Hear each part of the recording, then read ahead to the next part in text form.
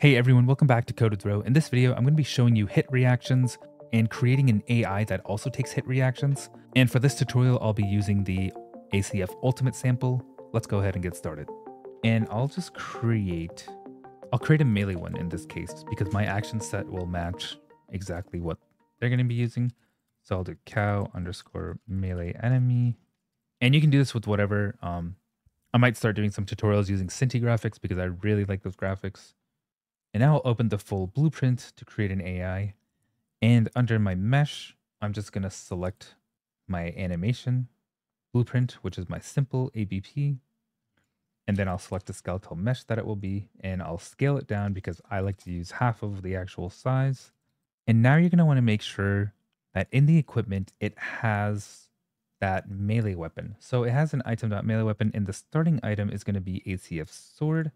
And it's also going to have a health potion, which I don't want because I'm trying to destroy this guy for the tutorial. And now in my ACF actions component, you're going to want to make sure that the action set is set to the one that I made or you made in this case. So I'll set it to this one because the animations are correct. If it's using the default ACF ones, your skeleton may not match. But if you've rigged your character to the ACF skeleton, or just retarget it to it, then yeah, you're totally fine. You can just leave that as is. Now, all I'm going to do is just drag and drop this character and let's see if he wants to start fighting.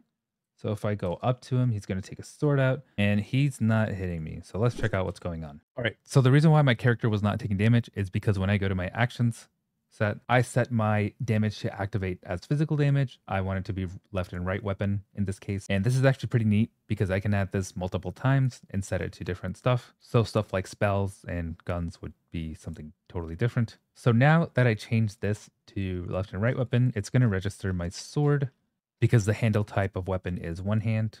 And what I'm going to do is first, let's test this out. And I want to see the hit reaction. So if I hit this guy, I don't have any reactions to it because I haven't set up my hit. You can tell he's taking damage because of the whole red lighting material. And in order to change that, you'll go over to your character blueprint, go to your effects manager component, and you'll see this hit material and you can change this to whatever you want. And if you don't want this, you can just uncheck apply hit material. And so for example, let me try, I'll try changing it to just base material and I'll do a duration of 0.1. And now if I hit this guy, oh wait, he has hit me. So it'll just be this kind of white-ish texture that's really quick. And if I were to do something like one second, this is a lot more noticeable just for the tutorial. So yeah. So now let's add some hit reactions. So what I'm going to want to do is go over to my cow action set or the action set. And all I need to do for this case is just add a montage and the action is going to be ACF hit action. And the tag name is going to be actions.hit. And since I don't have any hit animations, I'm going to go ahead and just retarget them from ACF. So I'll just find this actions.hit under ACF. And these ones are a bit too dramatic for me. But I am going to just right click and click retarget animations and then select my character. And then in the search, I'm going to select hit or type in hit. So now I'll just, yeah, so this one's a lot more, a lot smaller. So I'll just select these four and I'll click export and I'll export it to my animations, just add the cow prefix because I'm working with a cow, hit export. And now I want to turn these into a montage. So I'll just click one and type in create anim montage, and this will be called cow, hit AM for animation montage. And I'll also make sure that these are all root motions. So I'll right click all four of them, go to asset actions, edit selection property matrix, control A to select all, and then I'll type in root on the right here. You don't need, if you do it like this, it'll be one by one. Just type in root on your detail search and then click check and they'll all be checked here. And then I'll hit save. And now I can exit out of this now that it's saved and I'll go back and I'll continue creating my montage. And what I want to do is create these little mappings. So this one is the hit back. So I'm just going to add the rest of my hit reaction. So I'll add the front here the left here, and the right here. So I'm going to want to just click on this and change it from default to back. And then I'll right click up here, do a new montage section and call this front. And then I'll add another one. and call this left. And then I'll add another one and call this right. And now I'll just make sure I line it up to where it starts. And make sure that when you go to your montage sections, you're going to want to remove the links because they won't, because they're not going to play all of them after you get hit. You don't want every animation to go off because that'll be really annoying. So go to your montage section, click on this arrow, remove link for all of them. So it'll be just like this. Now I'll click save.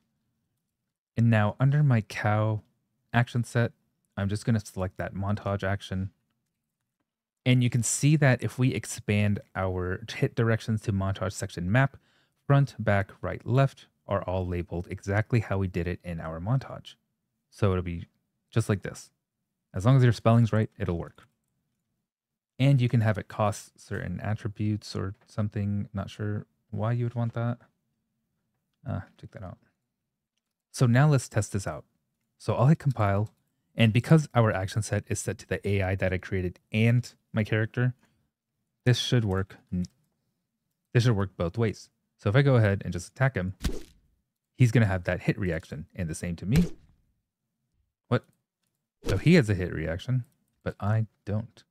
All right, so I figured out the reason why I wasn't taking hit reactions right away is because in the new ACF update, there's an RPG statistics for equilibrium. That pretty much just determines that how many takes, how many hits it's going to take in order for you to start getting that hit reaction. So currently it's set to 60. If I do a has regen value, and let's do a regen value of like 100, regen delay is one.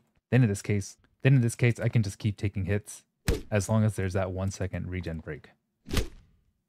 But if I were to take hits over and over pretty quick, I would start having that hit reaction. So I would just delete the statistic, compile, and now the very first hit is just going to cause that hit reaction. And you can see on the top left that it's printing out that action dot hit. But yeah, glad I got that working. Thanks for watching Code with Ro. Like and subscribe, comment below what you want to see next, and I'll see you in the next video. Thanks for watching.